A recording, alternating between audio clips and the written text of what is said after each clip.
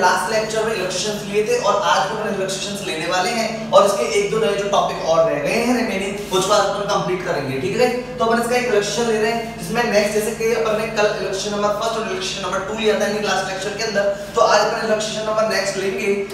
बताते हैं आपको कौन सा इलस्ट्रेशन कर रहे हैं अपन लोग, जो कि मोस्ट है। इसमें अपन करने वाले हैं नंबर 4 जो कि है पेज नंबर 8.105 के अंदर, ठीक है जी? 8.105 इसका पेज नंबर दे रखा है और इलस्ट्रेशन नंबर 4 है। तो इसको समझने की कोशिश करते हैं, इसमें लिखा हुआ है के एल एंड एम यानी कि तीन पार्ट पार्टनर थे एक तो के था, एक एल था और एक एम था। ठीक है जी? और ये थे जी 5 रेशियो 3 रेशियो 2 में। 5 रेशियो 3 रेशियो 2 में।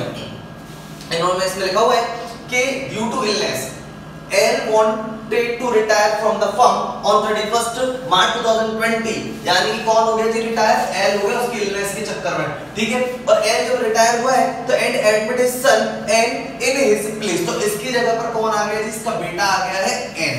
ठीक है? अब इसमें बैलेंस शीट दी हुई है। Balance sheet of K L and M as on 31st March 2020 liabilities दे रखी है असेट्स दे रखी है और दोनों साइड का टोटल 2 लाख 2 लाख अपन को दिया हुआ है। उसके बाद नीचे लिखा हुआ बैलेंस शीट में on retirement of L L के रिटायरमेंट पे यानी जब एल रिटायर हो गया, उस टाइम पे इन्होंने रिवैल्यूड किया है कि गुडविल तो 50000 पे रिवैल्यूड करी फर्म की। फर्नीचर जो किया है वो 10000 पे किया है। इन्वेंटरी जो 30000 पे वैल्यूड करी है। और लिखा हुआ है आगे 50% of the amount due to L was paid off in cash मतलब एल का जो भी पेमेंट आएगा टोटल निकल के उसका हाफ़ पेमेंट तो इमीडिएटली कैश में पेमेंट हो गया हो जाएगा। एंड द बैलेंस जो बचेगा was retain in the firm as capital of N और आधा पेमेंट जो रह जाएगा वो एन की कैपिटल हो जाएगी। क्योंकि एल जो है फादर है एन के एन नया पार्टनर एडमिट हुआ है एल के रिटायरमेंट पे तो एल का जितना पेमेंट होगा उसका 50% तो इमीडिएटली कैश में पेड कर देंगे। और बचेगा 50% वो एन की कैपिटल मानी जाएगी। On admission of the new partner goodwill has been written off good uh, written off यानी कि जो goodwill दे रखी है वो रिटर्न ऑफ़ करनी है। जो कि बैलेंस शीट के अंदर दे रखी है आपको असेट साइड goodwill 30000 के लिखा हुआ है goodwill was appearing in the balance sheet on 31st March 2020 as it was as it was purchased goodwill. वो purchase goodwill थी, पर उसको रिटर्न ऑफ़ करना है। ठीक है? इसमें जो लाइन लिखी हुई है, आगे, m is paid off his extra balance. ये m है। इसको बोला गया है कि पेड ऑफ़ करना पड़ेगा। इसको जो भी इसका एक्स्ट्रा बैलेंस आ रहा हो टू मेड कैपिटल प्रोपोर्शनेट मतलब कैपिटल जो प्रोपोर्शनेट में रखनी है, अगर उस प्रोपोर्शनेट से ऊपर अगर पैसा जा रहा है एम का जो एक्सेस पैसा वो अपन को क्या करना पड़ेगा? पेड करना पड़ेगा। तो ये क्वेश्चन है। और इसके अंदर नीचे इसने बोला necessary journal entries balance sheet K M and K M and N ठीक है जी? And capital account of a partner तो एक पहले एक बात समझने की कोशिश करते हैं। सबसे पहले अपन इसमें बना लेते हैं जी रिवैल्यूएशन अकाउंट बनाते हैं सबसे पहले इसमें जनरल एंट्रीज बोली है, लेकिन मैं जनरल एंट्री नहीं बता रहा हूँ। अपन इसका रिवैल्यूएशन अकाउंट प्रिपेयर करते हैं सबसे पहले। ठीक है? क्या है? कौन सा अकाउंट प्रिपेयर करते हैं जी? रिवैल्यूएशन तो गाइस इसका रिवैल्यूएशन अकाउंट अपन प्रिपेयर करने वाले हैं और रिवैल्यूएशन अकाउंट बनाएँगे और एंट्री के थ्रू बनेगा रिवैल्यूएशन अकाउंट ठीक है तो अपन इसमें रिवैल्यूएशन अकाउंट बना रहे हैं, इसका सॉल्यूशन पार्ट है, जो कि अपन स्टार्ट कर रहे हैं। ठीक है, इसने पूछा नहीं, इसने जनरल एंट्रीज पूछी है तो जनरल एंट्रीज अपन करते चलेंगे और इसमें एंट्रीज को पोस्ट करते चलेंगे ठीक है? तो ये हो गया जी पर्टिकुलर अमाउंट पर्टिकुलर अमाउंट ठीक है जी? तो ये हो गया जी एंट्रीज एक एक सब आ जाएँगी जो इसमें मॉड्यूल में दी हुई सारी सारी एंट्रीज के अंदर आ जाएँगी। ठीक है जी? तो रिवैल्यूएशन सबसे पहले इन्होंने लिखा है कि गुडविल 50000 है। ठीक है जी गुडविल का भी करेंगे पार्टनर्स कैपिटल अकाउंट में। फर्नीचर 10000 पे रिवैल्यूड किया, ऊपर जाके चेक करते हैं बैलेंस शीट के अंदर फर्नीचर 20000 का 10000 पे रिवैल्यूड करा तो 10000 का लॉस एंट्री पोस्ट होती है revaluation account DR to furniture तो गाइस कितने का है? फर्नीचर 20000 का और उन्होंने नीचे 10000 वैल्यू करा तो 10000 का हो गया जी। लॉस ठीक है? पहले। उसके बाद इन्होंने बोला कि इन्वेंटरी इन ट्रेड 30000 यानी कि इन्होंने इन्वेंटरी को 30000 पे वैल्यू करा है। ऊपर जाके चेक करते हैं। तो इन्वेंटरी अपन को 50000 की नज़र आ रही है। तो 20000 का लॉस होगा तो एंट्री पोस्ट हुई रिवैल्यूएशन अकाउंट दिया टू इन्वेंटरी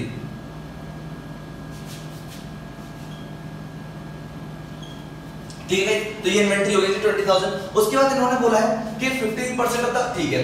उसके बाद यानी कि रिवैल्यूएशन का आपको पार्ट नहीं है तो टोटल जो है 30000 का लॉस है। यहाँ पे अपन लिखेंगे बाय पार्टनर्स कैपिटल अकाउंट ठीक है by partners capital account underline करेंगे थर्टी थाउज़ेंड यहाँ पे लिखेंगे, और इसको बांटेंगे ओल्ड पार्टनर्स में। यानी के में एल में और एम में। ठीक है जी? और कौन से रेशियो में जी? Five ratio three ratio two यानी थर्टी थाउज़ेंड का five upon ten thirty thousand का थ्री अपॉन टेन और थर्टी थाउज़ेंड का टू अपॉन टेन ठीक है जी? ये करेंगे अपन। तो काटेंगे इसको तो फिफ्टीन थाउज़ेंड नाइन थाउज़ेंड और सिक्स थाउज़ेंड ठीक है? फिफ्टीन थाउज़ेंड एंट्री क्या पोस्ट हुई होगी? एंट्री पोस्ट हुई होगी रिवेल्यूशन में लॉस है तो लॉस के केस में अपन एंट्री को क्या करते हैं? पार्टनर्स की कैपिटल होती है डाउन एंट्री पोस्ट होगी partners capital account DR to revaluation account तो बाय पार्टनर्स कैपिटल अकाउंट तो ये भी एंट्री अपन ने पोस्ट कर दी है. दोनों साइड अगर बात करें तो 30000 और 30000 ये आ जाएगा. तो रिवैल्यूएशन वाली यानी पी एंड एडजस्टमेंट वाली आप एंट्री जो देखेंगे, वो इसी तरीके से हो रही है, जैसे कि अपन ने इसमें किया है. ठीक है जी? फर्नीचर का हो गया जी?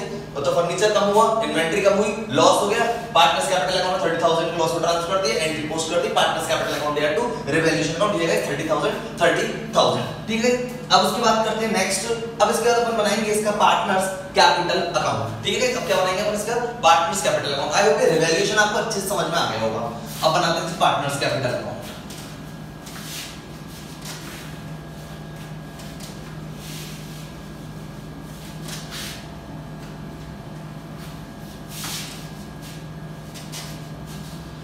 देखिए पार्टनर्स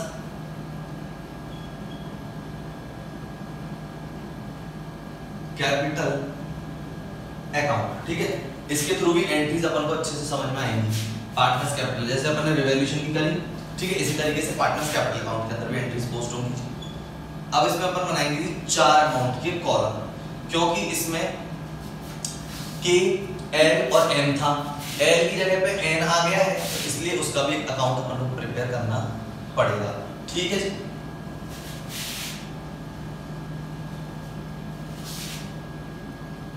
तो चार कॉलम कर रहे हैं इसमें अच्छे से समझ में आएगा ये आपको अच्छे से। ठीक है जी? मोस्ट रिलैक्सेशन है, इसलिए अपन ने ले लिया ठीक है? अब लिखेंगे यहाँ पे, सबसे पहले पर्टिकुलर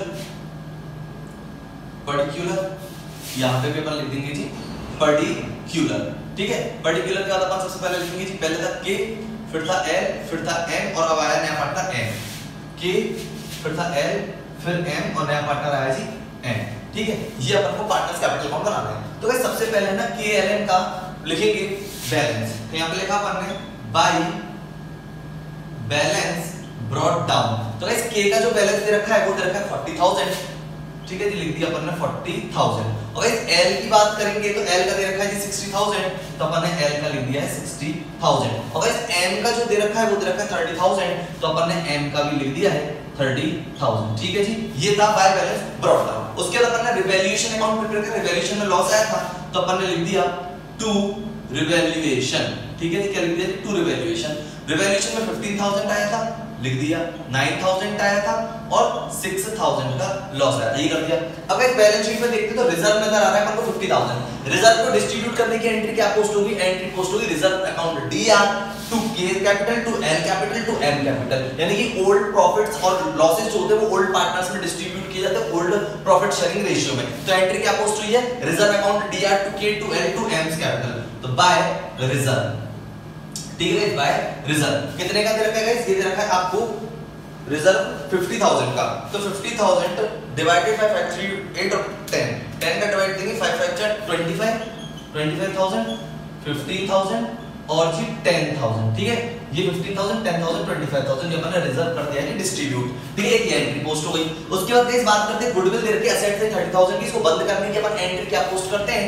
के कैपिटल अकाउंट दिया एल कैपिटल अकाउंट दिया एम कैपिटल अकाउंट दिया टू गुडविल तो गुडविल बंद हो जाएगी तो यहाँ पे लिखेंगे जी टू गुडविल ठीक है, ये एंट्री भी हो गई।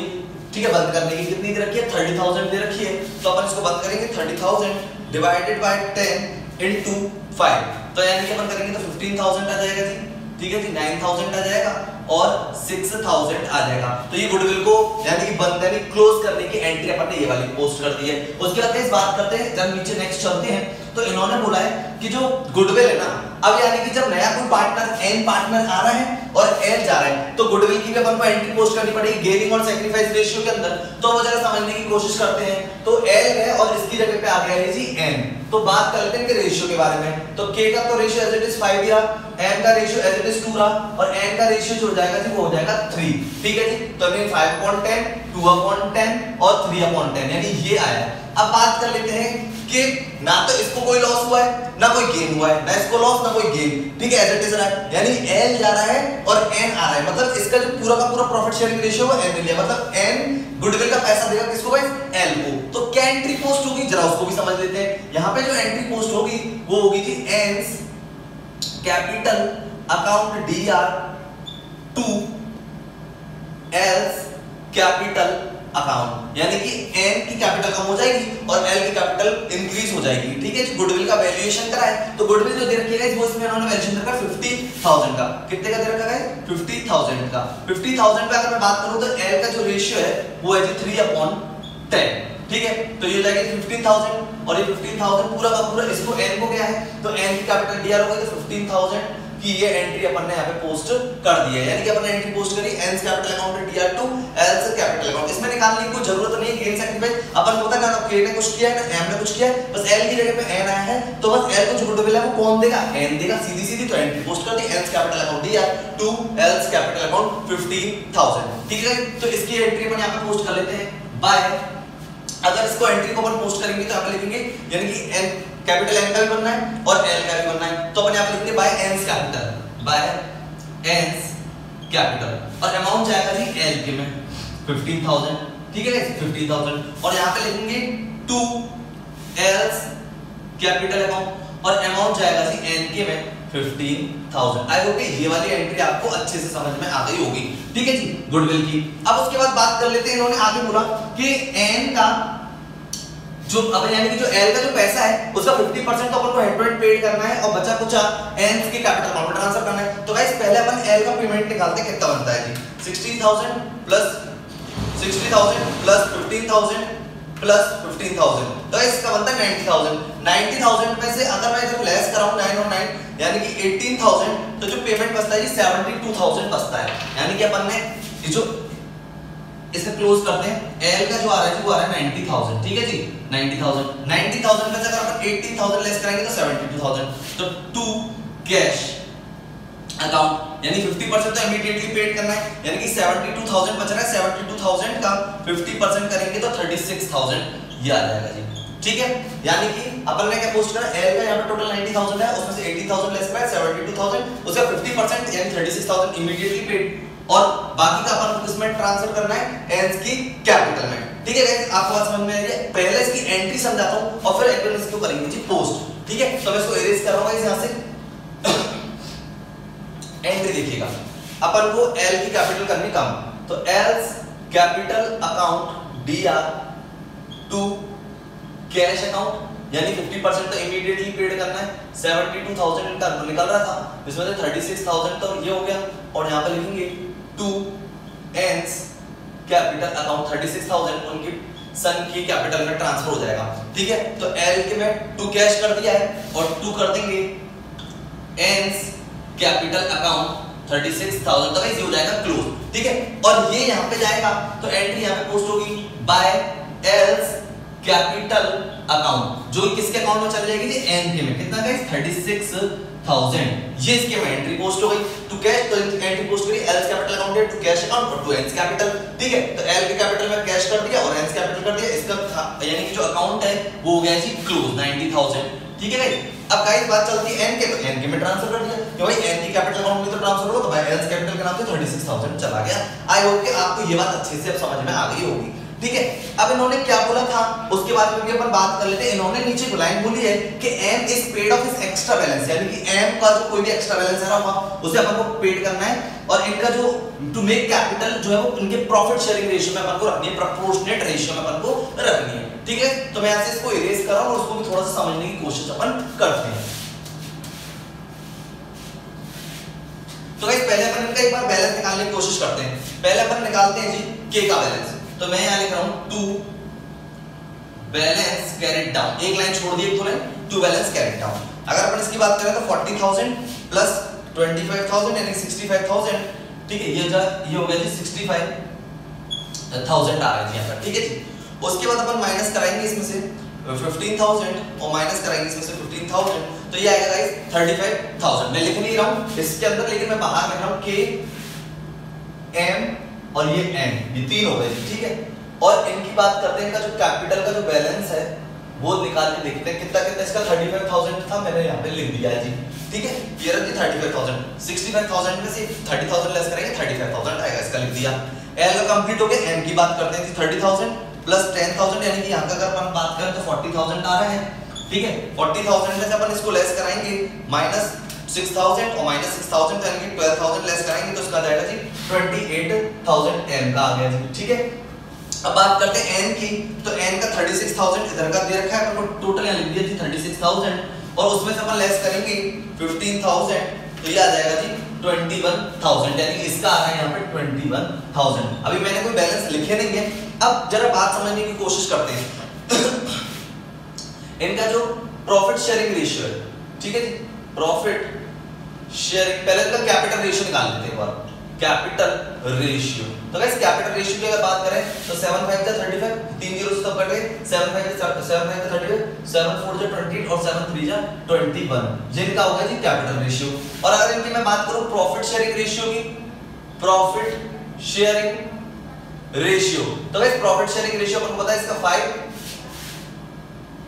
टू यानी कि m का कितना था? अपन देख लेते हैं इसका एक बार रेशियो जो ऊपर ऊपर था। क्वेश्चन में ऊपर ऊपर जो दे रखे थे, इनके रेशियो उनको भी देख लेते हैं इनका कितना दे रखा है। यानी इसका दे रखा है, m का दे रखा है जी 2 ठीक है? इसका लिख दिया जी 2 और इसका 3 था ही तो यानी कि ये हो गया। यानी ये भी बराबर बराबर है, ये भी बराबर है। इसका 2 कैपिटल ज़्यादा है तो अपन इसको क्या करेंगे? रिफंड करेंगे। तो रिफंड कैसे करेंगे? 28000 जो है, वो 4 के रेशियो के बराबर है तो 2 रेशियो के बराबर में अपन को रिफंड करेंगे क्योंकि इसका रेशियो 2 ही रखना है। ठीक है? तो 4 7 जा 28 7 2 जा 14 तो 14000 अपन इसको कर देंगे रिफंड ठीक है? बात समझ में आ रही है? तो अपन देखो, पहले कैपिटल रख लेते हैं हमें। इसका 35000 लिख देते हैं। ठीक है?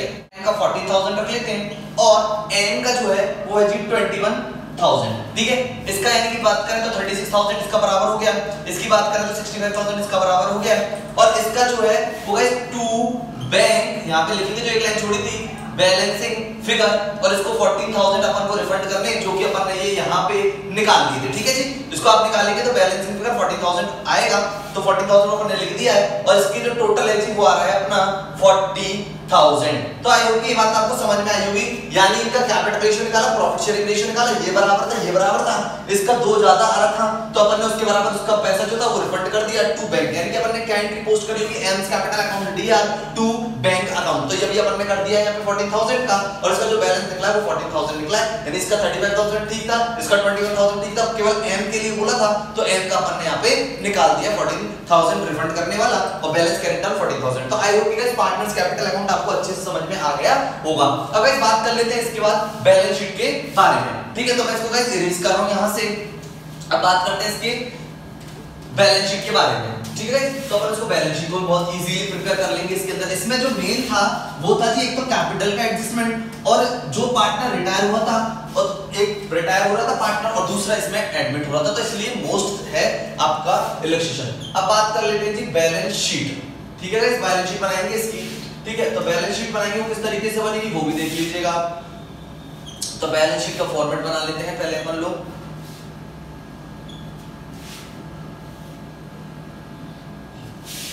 Liabilities,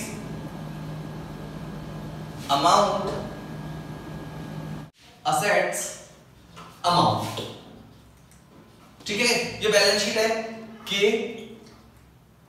N M as on first April 2020 की अपन को बैलेंस शीट बनानी है, जो कि आपको दे रखा है इसमें नीचे। देखो क्या लिखा हुआ है? इसमें लिखा हुआ है बैलेंस शीट आपको बनानी है के एम एंड एन की एज ऑन फ़र्स्ट अप्रैल 2020 तो ये सबसे पहले अपन इसमें लिखा हुआ है ओपनिंग बैलेंस शीट पे जाते हैं इसके बाद कैपिटल के की कैपिटल एन की कैपिटल एम की. तो के की है गाइस 35000 एन की कैपिटल जो है वो 21000 है और एम की जो कैपिटल है, वो है 14000 ठीक है गाइस कितनी है? 14000 इसका अगर अपन टोटल करेंगे तो ये आ जाएगा आपका 70000 ठीक है? उसके बाद इसमें देखो रिज़र्व अपन बांट चुके हैं। अब रह गया जी ट्रेड पेबल्स तो ट्रेड पेबल्स ठीक है जी?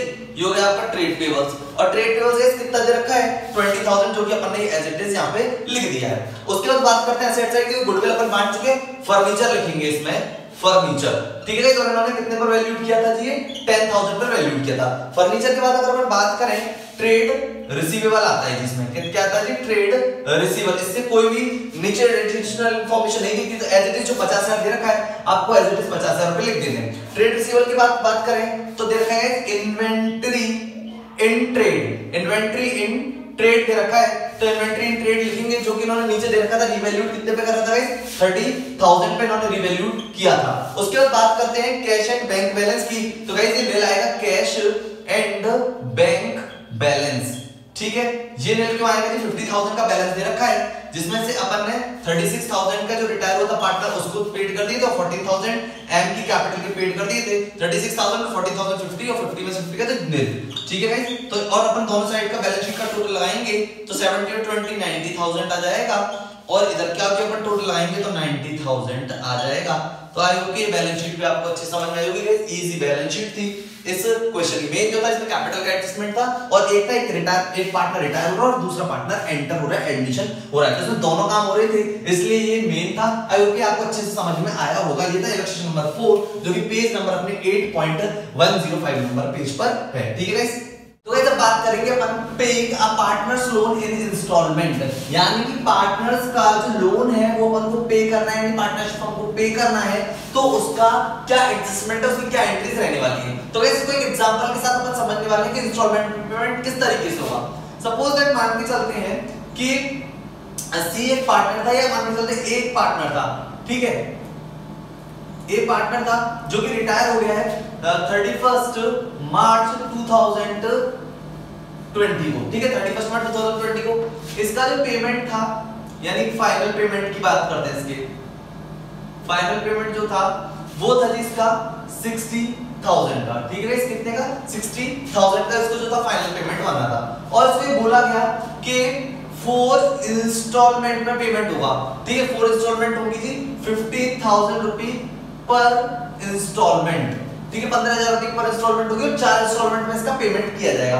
अब आपको एक बात हमेशा याद रखनी है कि अगर रेट ऑफ़ इंटरेस्ट गिवन है क्वेश्चन में तो अपन को पता है पार्टनर्स के लोन पे अपन को 6% रेट ऑफ़ इंटरेस्ट पे करना होता है। अगर पार्टनरशिप डीड में दे रखा है इंटरेस्ट 10% 12% 5% 3% तो उसके अकॉर्डिंग अपन पे करेंगे। तो यहाँ पर कुछ नहीं है। तो अपन ये मान लेते हैं कि जो रेट ऑफ़ इंटरेस्ट है रेट ऑफ़ इंटरेस्ट वो है 6% पर एनम ठीक है? तो इसका पेमेंट किस तरीके से होता है? क्या एंट्रीज पोस्ट होगी? जरा पहले उसकी बात समझते हैं। तो पहले 31 मार्च 2020 को जब वो रिटायर हुआ था तो अपन की क्या एंट्री इन्होंने पोस्ट करी कि वो जरा समझने की कोशिश करते हैं। तो इसमें लिखा होगा कि जी एस कैपिटल अकाउंट डीआर ये हो रही है जी 31 मार्च 2020 को। S capital account DR to S loan account इन्होंने लोन अकाउंट में ट्रांसफ़र दिया ये कर दिया जी 60 थाउज़ेंड ठीक है, कितना कर दिया जी? सिक्सटी थाउज़ेंड ये कर दिया इन्होंने. Transfer thirty first March two thousand S's capital account DR to S's loan account ठीक है, अब बात करते हैं, अपन नेक्स्ट ईयर की बात करते हैं. तो नेक्स्ट ईयर में, यानी कि फ़र्स्ट अप्रैल से नेक्स्ट ईयर स्टार्ट हो जाएगा तो अपन लास्ट पहुँच जाते हैं thirty first March two thousand twenty one इसको ट्वेंटी वन को पहली इंस्टॉलमेंट इसको पेड होगी जी इकतीस दिन दो हज़ार इक्कीस को. ठीक है इंस्टॉलमेंट पेड करेंगे। तो 31 मार्च 2021 को जब इंस्टॉलमेंट पेड होगी तो उससे पहले क्या होगा जी? जो साठ हज़ार रुपए का जो आपका लोन है, यानी कि ए का उस पर इंटरेस्ट मिलेगी इसको 6 परसेंट कारण क्या रहेगा बताते हैं आपको। तो 3600 अगर अपन बात करें तो इसको 3600 की इंटरेस्ट दी जाएगी तो इसका लोन और बढ़ेगा। तो interest on loan account D R to S's loan account ठीक है? कितना? 3600 से। अब बात जरा समझने की कोशिश करना कि 3600 का इंटरेस्ट क्यों दिया है? वो इसलिए दिया कि इंटरेस्ट ऑन लोन अकाउंट दिया टू एज लोन यानी कि इंटरेस्ट देना आउटस्टैंडिंग अमाउंट पे तो 60000 पूरे साल रहा तो 60000 का 6% के अकॉर्डिंग 3600 का इंटरेस्ट बनता है तो ये दे दिया। और 31 मार्च को जब इसको इंटरेस्ट यानी कि इंस्टॉलमेंट पेमेंट की जाएगी तो एंट्री पोस्ट होगी कि S's loan account DR to bank account ठीक है? यानी कि एज लोन अकाउंट या टू बैंक अकाउंट यानी 15000 की जो इंस्टॉलमेंट और प्लस 3600 का इसका इंटरेस्ट तो टोटल इसको 18600 का पेमेंट किया जाएगा। यानी कि इसको 50000 की तो इंस्टॉलमेंट दी जाएगी और 3600 का इस पर इंटरेस्ट दिया जाएगा। तो टोटल इसको 18600 का पेमेंट होगा। एंट्री पोस्ट होगी S's loan account DR to bank account 18600 पहले इंटरेस्ट को अपन क्या करेंगे? एज लोन पे देंगे तो interest loan account DR to S's loan यानी एक लोन और बढ़ जाएगा और ये अपने कैपिटल को लोन में ट्रांसफ़र कर दिया है। इसी तरीके से ये एंट्रीज पोस्ट होती रहेगी। यानी कि ये एंट्री एक बार पोस्ट होगी, उसके नेक्स्ट ईयर में फ्लो इंटरेस्ट की एंट्री पोस्ट होगी 31 मार्च 2022 को, फिर इंस्टॉलमेंट पेड करेंगे 31 मार्च 2022 को। फिर ऐसी थर्ड इंस्टॉलमेंट में 31 मार्च 2023 में इंटरेस्ट फिर पहले हम इंटरेस्ट ड्यू करेंगे और उसके इंस्टॉलमेंट इसी तरीके से कंटीन्यूअसली ये एंट्री गैस चलने वाली है। अब अपन इसमें इंटरेस्ट को जरा समझने की कोशिश करते हैं कि इंटरेस्ट किस तरीके से इस पे लगेगा। ठीक है? तो ये बात तो आपको समझ में आई होगी। एंट्रीज कैपिटल को लोन में ट्रांसफ़र करिए फिर लोन में इंटरेस्ट ड्यू करिए और उसकी फ़र्स्ट इंस्टॉलमेंट चुकाई है। 15000 प्लस 3600 जो है, वो आउटस्टैंडिंग अमाउंट पर इंटरेस्ट दिया गया। तो इंटरेस्ट निकालने का तरीका मैं आपको समझाता हूँ। एंट्री सी सेम रहेगी। ये फ़र्स्ट एक बार एंट्री होगी और ये आपकी जो दोनों एंट्री है कंटीन्यूअसली चलेगी। नेक्स्ट 3 ईयर तक ठीक है आई होप ये बात आपको समझ में आई होगी। अब इंटरेस्ट की बात करते हैं जी। तो जैसे पहली इंटरेस्ट तो मैंने आपको बता दी कि किस तरीके से अपने कैलकुलेट करी तो एक बार वो भी अपन यहाँ पे समझने की कोशिश करते हैं जी। ठीक है, जैसे मान के चलते हैं 31 मार्च 20 को रिटायर हो तो 31 मार्च 2021 को देखो जी 15000 तो उसको इंस्टॉलमेंट दी जाएगी और 60000 एक बात समझने की कोशिश करना कि जब आप 31 मार्च को अब इंटरेस्ट दे रहे हो तो उस समय आपके पास पूरी की पूरी लोन की अमाउंट कितनी है? 60000 तो इंटरेस्ट कितने पे लगेगा? 60 थाउज़ेंड को लगेगा तो यानी कि वो आ जाएगा आपका थर्टी सिक्स हंड्रेड ठीक है जी? थर्टी सिक्स हंड्रेड आ जाएगा। तो थर्टी सिक्स हंड्रेड को ऐड करेंगे तो पहली इंस्टॉलमेंट हो जाएगी अठारह हज़ार छह सौ की। आई होप की बात समझ में आई होगी आपको। फिर चलते हैं thirty first March two thousand twenty two पर इंस्टॉलमेंट तो पंद्रह हज़ार ही पेड करनी है। प्लस अब साठ हज़ार में से हमें पता है कि पंद्रह हज़ार इंस्टॉलमेंट पेड होगी तो आउटस्टैंडिंग अमाउंट कितना रहेगा जी? फोर्टी फाइव थाउज़ेंड तो इसका सिक्स परसेंट निकालेंगे। ठीक है जी? तो देखते हैं कितना आता है फोर्टी फाइव थाउज़ेंड का six percent forty five thousand into six percent gas ये आ रहा है ट्वेंटी सेवन हंड्रेड तो आप इसको ऐड करेंगे तो फिफ्टीन थाउज़ेंड के अंदर। ठीक है तो अपन नेक्स्ट जो इंस्टॉलमेंट पेड होगी सत्तर हज़ार सात सत्तर seventy thousand seven hundred paid होगी। ठीक है जी सत्रह हज़ार सात सौ की। फिर उसका चलते इकतीस तीन तेईस को। तो गैस तरह समझने की कोशिश करना कि फिफ्टीन थाउज़ेंड तो देना ही देना है। 45,000 रह गए 16,000 था फिर 15,000 की इंस्टॉलमेंट पेड करी फिर 45,000 रह गए फिर 15,000 की इंस्टॉलमेंट पेड करेंगे तो आउटस्टैंडिंग अमाउंट कितना रह गया होगा जी? 30,000 तो इसका 6% आपको देना है जी। ठीक है? इसका भी निकाल लेते हैं जी कितना आएगा? ठीक है? तो 30,000 का 6% ये आएगा जी 1800 रुपए तो अगली जो इंस्टॉलमेंट पेड होगी वो आपकी 15,000 प्लस 1800 यानी 16,800 पेड होगी। अपन चलते थे 31 3 24 में तो उसमें अपन की इंस्टॉलमेंट 15000 है और आउटस्टैंडिंग अमाउंट भी हमारा 15000 ही रहेगा। तो 30000 में से 15000 की इंस्टॉलमेंट ऑलरेडी पेड कर चुके तो 15000 रह गया था। उस पर अपन 6% और देंगे। तो 15 6000 15000 का निकालते हैं। छह परसेंट, ठीक है जी? पंद्रह हज़ार इंटू सिक्स परसेंट आ गए जी नाइन हंड्रेड ठीक है? नाइन हंड्रेड और नाइन हंड्रेड को एड करेंगे तो पंद्रह हज़ार नौ सौ की ये लास्ट इंस्टॉलमेंट पे उठ जाएगी। तो इस तरीके से इंस्टॉलमेंट तरीका होता है? ठीक है? जब हम पहली इंस्टॉलमेंट चुकाने गए तो हमारे पास आउटस्टैंडिंग अमाउंट कितना था? 60000 जब हम सेकंड इंस्टॉलमेंट चुकाने गए तो आउटस्टैंडिंग अमाउंट कितना था? 45000 जब थर्ड इंस्टॉलमेंट चुकाने गए तो हमारे पास आउटस्टैंडिंग अमाउंट कितना था? 30000 और जब लास्ट इंस्टॉलमेंट चुकाने गए तो हमारे पास आउटस्टैंडिंग अमाउंट कितना था? गाइस 50000 तो ये इंटरेस्ट कैलकुलेट करके ये कर दिए एंट्रीज मैंने आपको सिखा दी है. आई होप कि ये बात आपको अच्छे से समझ में आई होगी. और ठीक है, इसी के अकॉर्डिंग अपन को एंट्रीज पोस्ट करनी, जो कि मैंने आपको बताई. तो ये हुआ है paying and partners loan in installment यानी पार्टनर्स के लोन को इंस्टॉलमेंट में किस तरीके से पेड करते हैं? और रेट ऑफ़ इंटरेस्ट का अगर दे रखा है तो रेट ऑफ़ इंटरेस्ट वही लेंगे। नहीं है तो हमें पता है कि जब पार्टनरशिप डीड साइलेंट होती है तो पार्टनर्स के लोन पे 6% से रेट ऑफ़ इंटरेस्ट दिया जाता है। तो आई होप कि ये बात आपको अच्छे से समझ में आई होगी। जो अपन बात करने वाले हैं जॉइंट लाइफ पॉलिसी के बारे में, जिसको अपन शॉर्ट फॉर्म में बोलते हैं जेएलपी यानी अपन जॉइंट लाइफ पॉलिसी के बारे में बात करेंगे गाइस ये मोस्ट इंपॉर्टेंट है, क्योंकि कुछ स्टूडेंट क्या करते हैं जेएलपी को छोड़ देते हैं। जेएलपी को समझ में नहीं आती है। तो आज अपन इसको जेएलपी को अच्छे समझने वाले हैं जॉइंट लाइफ पॉलिसी तो गाइस जॉइंट लाइफ पॉलिसी को जब समझने की कोशिश करते हैं कि पार्टनर की लाइफ पर पॉलिसी ली जाती है और जॉइंट करके यानी जितने भी पार्टनर होते हैं उन सब पे एक पॉलिसी ली जाती है, जिसे अपन बोलते हैं जॉइंट लाइफ पॉलिसी ठीक है जी? अब जॉइंट लाइफ पॉलिसी में गाइस क्या होता है कि जो इसका जो प्रीमियम अपन जो पेड करती है फर्म उसको दो तरीके से ट्रीट करती है। एक तो ट्रीट करती है एज एक्सपेंसेस और एक ट्रीट करती है एज एन असेट्स ठीक है, एक बार उसको असेट्स मानती है और एक बार उसको ट्रीट करती है एज एक्सपेंसेस की तरह। ठीक है? अब एक्सपेंसेस की तरह अगर वो ट्रीट करती है उसको तो क्या क्या जनरल एंट्रीज हो सकती है? पहले अपन उसको समझने की कोशिश करते हैं। ठीक है जॉइंट लाइफ पॉलिसी जो है, अगर वो जेएलपी को, यानी कि जो उसका प्रीमियम जो चुका रही है, उसको एज एक्सपेंसेस की तरह ट्रीट करेगी तो क्या एंट्री पोस्ट होगी? उसको अपन समझने की कोशिश करते हैं। तो एक फ़र्स्ट ईयर की एंट्री ले रहे हैं, यानी कि पहले साल की एंट्री ले रहे हैं। तो एंट्री होगी जी JLP insurance premium account R to bank account ठीक है ये एंट्री हो गई।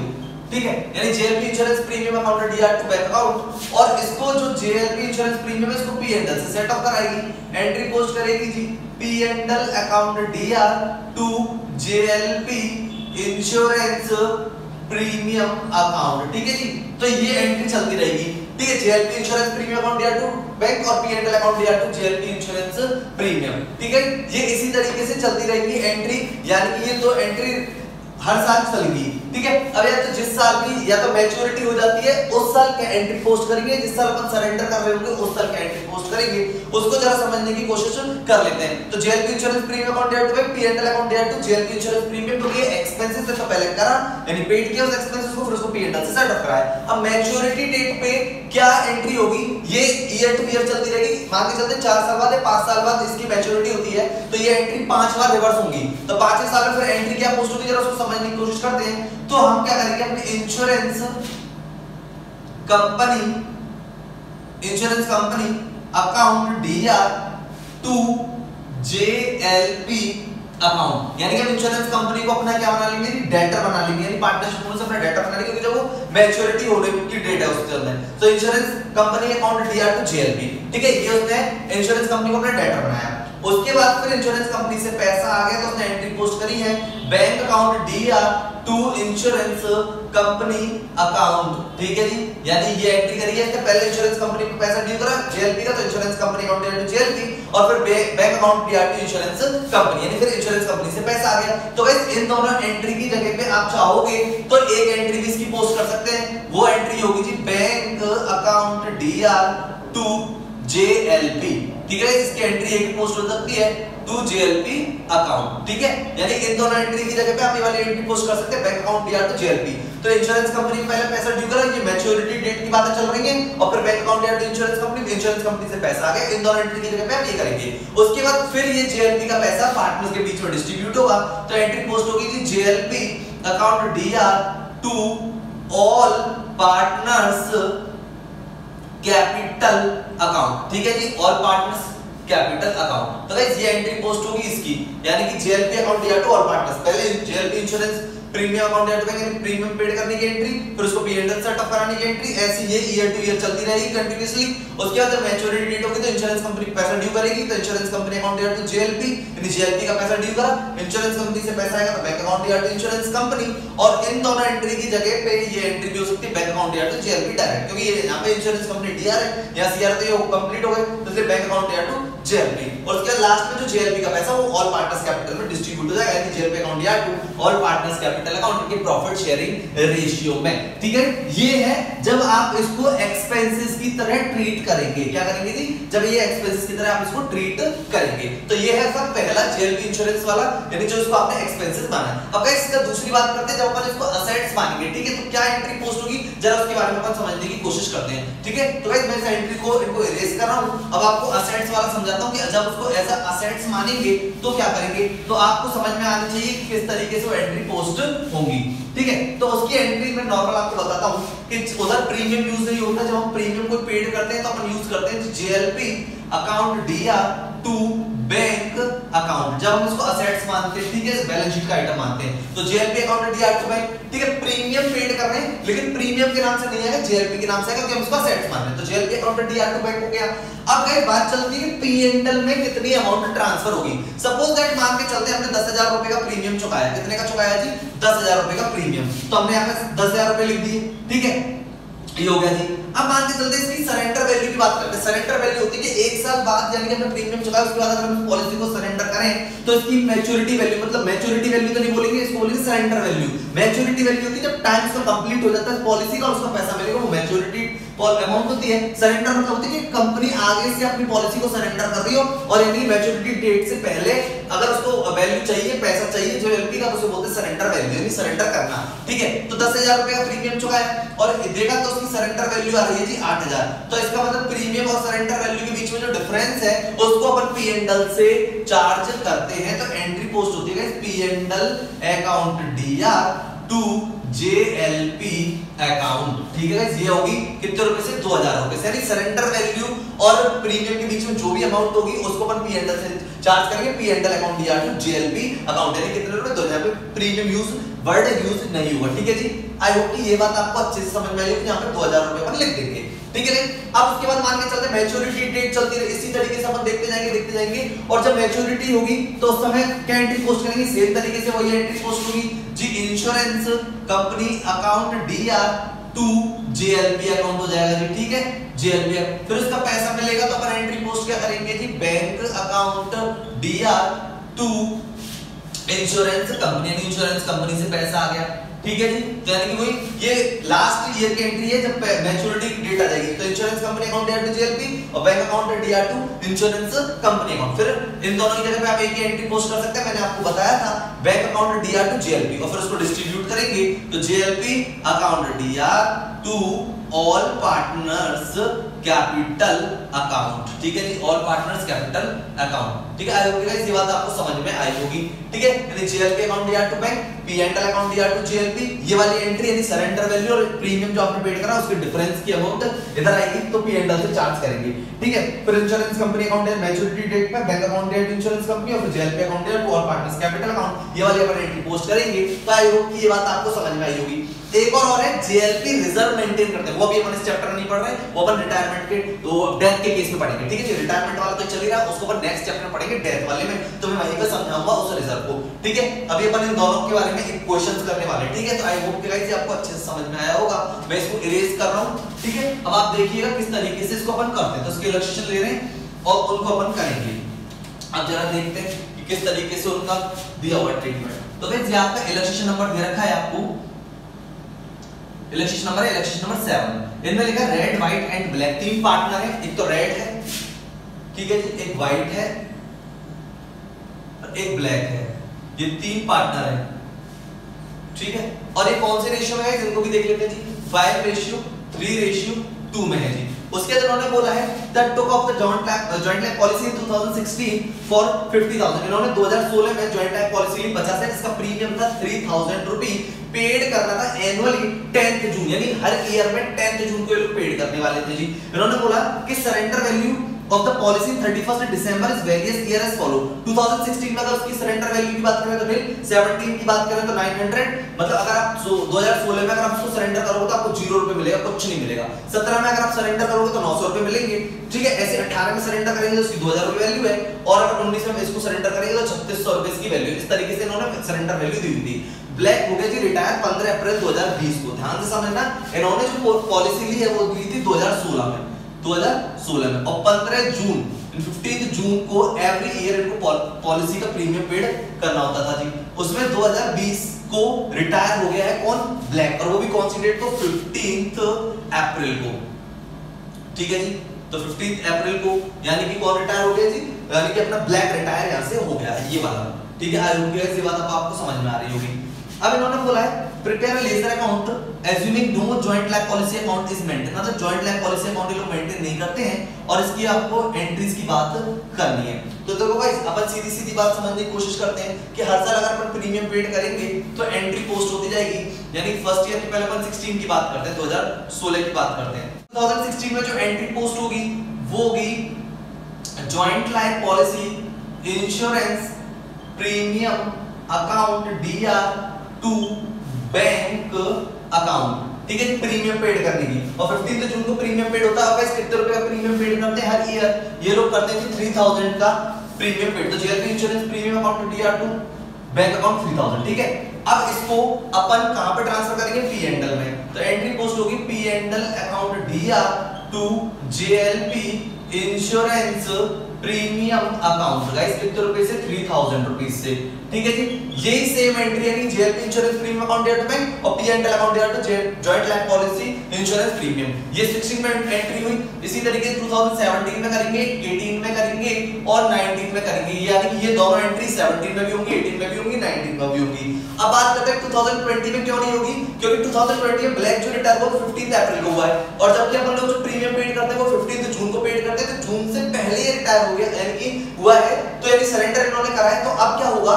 जब ये 2020 में सरेंडर कर रहे होंगे तो क्या एंट्री पोस्ट कर सकते हैं? तो यानी कि इंश्योरेंस कंपनी में पैसा ड्यू करेंगे और फिर उससे पैसा मंगाया जाएगा। अपन चाहे तो दोनों एंट्री की पे एक एंट्री पोस्ट कर सकते हैं। और यानी कि 2020 में जो एंट्री हमको पोस्ट करनी है, वो एंट्री पोस्ट होगी जी bank account D R to J account ठीक है जी? और इसकी अपन सरेंडर वैल्यू अगर देखते हैं तो अपना 19 में जो सरेंडर वैल्यू दे रखी है जी वो दे रखी है 3600 ठीक है जी? 19 के बाद कोई प्रीमियम पेड किया नहीं है तो 20 में प्रीमियम पेड करने से पहले वो रिटायर हो गया है तो इसलिए जो 19 की सरेंडर वैल्यू 3600 तो इतना मिलेगा बैंक अकाउंट डीआर2 जेएलपी इसकी जगह पे दो एंट्री और हो सकती थी, अगर हम करना चाहते थे, यानी पहले insurance company account DR to upon due करते तो insurance company account DR to JLP और फिर पैसा मिलता bank account DR to insurance तो अल्टीमेटली एंट्री होती bank account DR to JLP account ठीक है? और उसके बाद अपन जेएलपी को बांटेंगे। तो जेएलपी अकाउंट डी यानी कि 3600 to red capital account to white capital account और टू ब्लैक कैपिटल अकाउंट यानी कि ये एंट्री और पोस्ट अपन कर देते टू ब्लैक कैपिटल अकाउंट ठीक है जिनका profit sharing ratio 5 ratio 3 ratio 2 तो 3600 को 5 रेशियो 3 रेशियो 2 में डिस्ट्रीब्यूट करेंगे। ठीक है तो यानी कि 3600 डिवाइडेड 5 और 3 इनटू 10 डिवाइडेड बाय 10 इनटू 5 करेंगे। यानी 36 डिवाइडेड बाय 10 इनटू 5 करेंगे तो इसका आएगा 1800 तो इसको मिलेगा। ठीक है जी? इसको 1080 मिलेगा। ठीक है जी? और इसको 720 मिलेगा। यानी कि 1800 1080 और 720 यानी JLP account DR to red capital account to white capital account to black capital account ये 1800 1080 और 720 तो गाइस यही एंट्री है जो कि इसमें अकाउंट आपके बनाया हुआ है। सेम तरीके से पोस्ट हो रहा है। यानी कि आप इसका अकाउंट देखें तो यानी joint life policy premium account है मुझे रखा है वाला। Joint life policy insurance premium का जो दे रखा है, आप पहले एंट्री चेक करेंगे तो 10 जून को जेएलपी इंश्योरेंस प्रीमियम अकाउंट डेट बैंक तो इंश्योरेंस प्रीमियम वाले में टू बैंक एंट्री और उसके बाद फिर पीएनएल में ट्रांसफ़र करा। तो देखिए बाई पीएनएल इसी तरीके से 4 साल तक चलता रहा। उसके बाद फिर पीएनएल में भी ये लोग एंट्री पोस्ट करेंगे क्योंकि पीएनएल में भी तो जाएगा to joint life insurance premium ऐसे ही चार बार जाएगा। तो देखिए, इसमें 16 में 17 में 18 में और 19 में चला गया। और उसके बाद जो उन्होंने जेएलपी का अकाउंट बनाया है, वो जरा देखिए जेएलपी के में लिखा हुआ है, इन्होंने बाई बैंक कितने से 3600 से ऑफ़िस को डिस्ट्रीब्यूट कराए JLP account to red white to black तो लिखा हुआ JLP account DR to red capital to white capital to black 1800 1080 और 720 तो आई होप कि गाइस ये वाली बात आपको अच्छे से समझ में आई होगी। ये था इलस्ट्रेशन नंबर 7 जो कि अपने को कंप्लीट कर लिया है।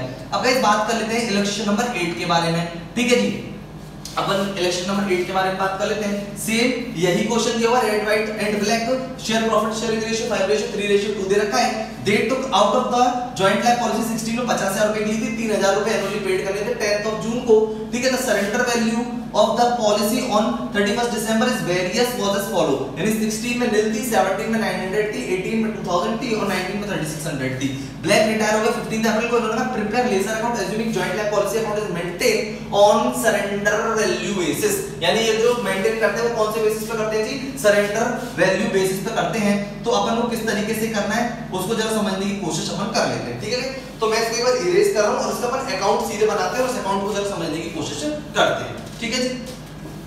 तो ये तो आपका इलस्ट्रेशन नंबर जो अपन करेंगे, ये है आपका इलस्ट्रेशन नंबर 8 ठीक है जी? और अपन ने 7 कंप्लीट किया।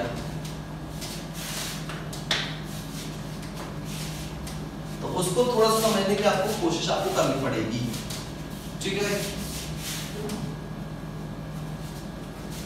अब देखिए, यानी कि अपन पहले 2016 की बात कर लेते हैं। तो अपन ने अगर ये एंट्री करी होगी, यानी किसने क्या बोला यहाँ पे? कि इसको इसने बोला है सरेंडर वैल्यू पे मेंटेन करते हैं। इसका मतलब joint life policy account as assets मानने अगर ये लोग सरेंडर वैल्यू पे मेंटेन करते हैं। क्योंकि अभी आपने बोला था, अगर ये लोग एक्सपेंसेस मानते उसको तब तो पी एंड एल की करते और अगर उसको मान लेते हैं लोग असेट्स तो अपन क्या एंट्री पोस्ट करते हैं? जेएलपी अकाउंट डीआर2 बैंक तो भाई, ध्यान समझना जेएलपी अकाउंट डीआर2 बैंक कर दिए ये एंट्री ठीक है जी? कितने रुपए से? 3000 से। ठीक है? चलो जी 16 में। उसके बाद ये, उसके बाद अपन को पता है कि इसको अपन पी एंड एल में ट्रांसफ़र कर दें तो जेएल के अकाउंट डेट पे कर दिया, उसके बाद इसको पी एंड एल में ट्रांसफ़र करेंगे। तो सरेंडर वैल्यू देखनी है इसकी अपन को। तो सरेंडर वैल्यू गाइस जो अपनी आ रही है, वो आ रही है 16 में नील इसका मतलब 16 में नील आ रही है यानी जितना प्रीमियम चुकाया और सरेंडर वैल्यू के बीच का जो डिफरेंस होता है, उसको अपन ट्रांसफ़र करते हैं तो 3000 था सरेंडर वैल्यू थी नील तो इसका पूरा का पूरा 3000 का डिफरेंस है। तो 2016 में, यानी कि 31st दिसंबर को, ठीक है जी? 31st दिसंबर को ये होती है और ये 10th जून को करते हैं ठीक है? तो एंट्री पोस्ट होगी जब ध्यान समझना है। P and account D R to J L P account ठीक है guys P and L account या जेल पे अकाउंट पूरा का पूरा कितने रुपए से करेंगे जी? 3000 से करेंगे। तो जरा इसके एंट्री देख लीजिए J L P account DR to bank और P and L account DR to J L P account 3000 से अपन ने पोस्ट कर दी है। तो देखिए जेल पे अकाउंट में मतलब बैंक कर रखा है, इन्होंने 3000 का, ठीक है? और नीचे पी एंड अकाउंट दे रखा है रखा है जेल पी 3000 से। आई होगी। अब गाइस सेकंड की बात कर लेते हैं। इन्होंने बोला कि सेकंड ईयर में सरेंडर वैल्यू कितने की है? दे रखा है जी 900 की। अब जरा बात समझने की कोशिश कीजिएगा। तो 10th जून 2017 में उन्होंने क्या एंट्री पोस्ट करी होगी? एंट्री पोस्ट करी होगी जी JLP account DR to bank account क्योंकि इसको एज असेट्स मांग रहे हैं तो JLP account DR to bank लिखेंगे। 3000 से। ठीक है अब बात कर लेते हैं कि 2017 में, यानी कि 31st दिसंबर 2017 की बात करते हैं तो पहले इसकी देखते हैं सरेंडर वैल्यू कितनी आ रही है? तो इसकी जो सरेंडर वैल्यू 2017 में गई 900 है। तो जितना प्रीमियम आपने पेड करा है, और सरेंडर वैल्यू कितनी? 900 डिफरेंस कितना? है 2100 तो उसको अपन कहाँ से चार्ज करेंगे? पी एंडल से। तो P and L account DR to JLP account कितने से गाइस 2100 से, ठीक है? डिफरेंस समझ में आ गया? यानी कि जितना प्रीमियम पेड करा और सरेंडर वैल्यू में जो डिफरेंस था, उसको अपन ने पीएनएल से चार्ज कर पीएनएल अकाउंट या तो जेल तो जरा अकाउंट में आएँगे। तो देखो अकाउंट में आपको ये इन्होंने पोस्ट किया हुआ है यहाँ पे कि जेल के account DR to bank to bank लिखा है और पी एंडल से केवल 2100 चार्ज करा है और बैलेंस कैरेट डाउन लिख दिया है जी 900 ऑब्वियसली बात है कि सरेंडर वैल्यू सी कितनी आ रही थी? 900 आ रही थी तो उन्होंने लिख दिया है बाय बैलेंस कैरेट डाउन और पी एंडल में जरा आ जाते हैं तो लिखा हुआ जॉइंट लैंड पॉलिसी अमाउंट 2100 से तो आई होप कि ये बात आपको अच्छे से समझ में आ गई होगी। ठीक है? तो ये तो अपनी 16 की एंट्री थी, ये अपनी 17 की एंट्री थी। अब गाइस बात कर लेते हैं 18 की एंट्री की, ठीक है जी? तो 18 में चलते जी अब। ठीक है एंट्री यही से पोस्ट होनी है। तो देखते हैं क्या होता है जी। तो 10 जून 2018 की बात करूँगा। तो जरा ध्यान से समझिएगा। तो JLP account DR to bank account ये 3000 से एंट्री पोस्ट हो जाएगी। ठीक है जी, हो गई? यानी कि जेएलपी अकाउंट दिया टू बैंक अपन ने कर दी 3000 से एंट्री पोस्ट अब 31 मार्च 2018 की बात करते हैं कि इसका सरेंडर वैल्यू चेक करते हैं कि कितनी आ रही है। तो गाइस इसकी जो सरेंडर वैल्यू आ रही है, वो आ रही है जी 2000 कितनी आ रही है गाइस 2000 इसकी सरेंडर वैल्यू आ रही है। एक बात गाइस ध्यान से समझना कि पहले हमारे पास 900 आ रहा था बैलेंस आगे चल के ठीक है जी 3000 का अपन ने प्रीमियम चुका दिया। और इसकी जो सरेंडर वैल्यू आ रही है, वो आ रही है जी 2000 यानी कि जितना पॉलिसी की वो चल रही है और माइनस करेंगे उसकी सरेंडर वैल्यू तो अपना जो डिफरेंस निकल के आएगा, वो आएगा गाइस 1900 का, जिसको अपन को चार्ज करना है पीएनडल से। तो यानी कि P and L account DR to JLP बात समझने की कोशिश करते हैं, ये 900 रुपीस सरेंडर वैल्यू ऑलरेडी चली आ रही थी। ठीक है? 900 सरेंडर वैल्यू पहले चली आ रही थी, इसको रख दीजिए। अब 3000 का प्रीमियम चुका दिया इन्होंने। कितना चुका दिया 3000 का प्रीमियम चुका दिया है। और जो सरेंडर वैल्यू आ रही है इनकी जो, वो आ रही है 2000 तो अगर अल्टीमेटली बात करें तो आपको 1000 समझ में आएगा कि 1000 अपन को चार्ज करना है, लेकिन ऐसा नहीं है। हमें चार्ज करना है 1900 अब ये बात आपको कैसे समझ में आएगी? जरा इसके अकाउंट पे आइएगा जेएलपी के पे। तो देखो 900 इसके टू बैलेंस जो है वो ब्रॉट डाउन ऑलरेडी 900 आगे आ रहा है। ठीक है? फिर बैंक से चुकाया तो जेएलपी अकाउंट दिया बैंक 3000 की करी है। और बैलेंस कैरेट डाउन यानी इसका जो क्लोजिंग बैलेंस है इसकी जो सरेंडर वैल्यू है, वो कितनी आ रही थी गाइस 2000 आ रही थी। तो जो डिफरेंस का अमाउंट है अपन पीएनएल से चार्ज करेंगे 1900 तो PNL account DR to JLP 1900 की इन्होंने चार्ज कर दी ठीक है? इसी तरीके से जरा अगर आप बात करें तो 19 की भी इसी तरीके से होगी, वो किस तरीके से होगी, उसको भी जरा देखते हैं। ठीक है? 2019 की बात कर लेते हैं। तो 2019 की बात करेंगे तो अपन को पता है कि पहला तो जॉइंट लाइफ पॉलिसी अकाउंट तो बैंक करेंगे, लेकिन अब पी एंटर का सिस्टम थोड़ा सा अलग होगा। वो किस तरीके से होगा जी? 2000 पहले से वैल्यू चली आ रही थी। 3000 का प्रीमियम चुकाया है और माइनस करते हैं इसकी जो सरेंडर वैल्यू आ रही है और वो आ रही थी सरेंडर वैल्यू 3600 की। कितनी आ रही है 3600 की। तो चेक करें कितना जाएगा? 5000 5000 में 3600 है। तो 1400 का जो डिफरेंस है, वो अपना यहाँ पे पोस्ट हो जाएगा। एंट्री पोस्ट होगी P and L account DR to JLP account ठीक है?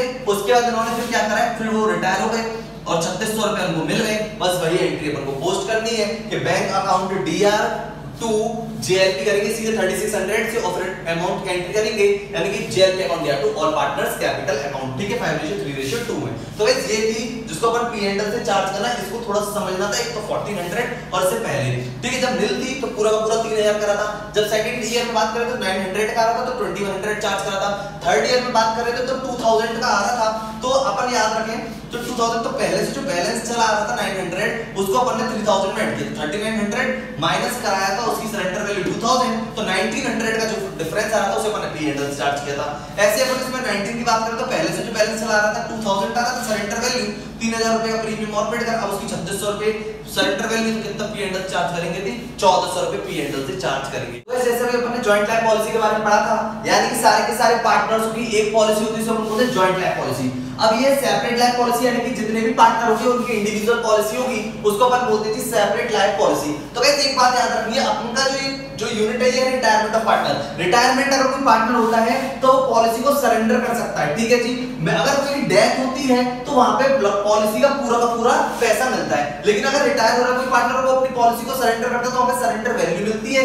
या अगर मैच्योरिटी डेट कंप्लीट हो गई है तो फिर मैच्योरिटी वैल्यू मिलेगी, ठीक है? तो सेपरेट लाइफ पॉलिसी में किस तरीके से, जैसे के हैं एक ए है, एक बी है और एक सी है।